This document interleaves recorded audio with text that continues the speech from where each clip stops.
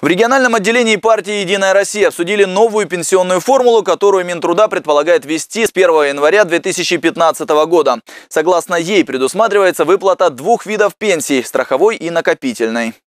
Вводится такое э, понятие, как, как индивидуальный пенсионный коэффициент, который будет э, складываться из стажа застрахованного лица или гражданина и белой заработной платы, с которой уплачены взносы. То есть По словам Леонида Музалевского, «Единая Россия» выступает за развитие пенсионной системы и принятие той пенсионной формулы, которая будет современной и понятной россиянам.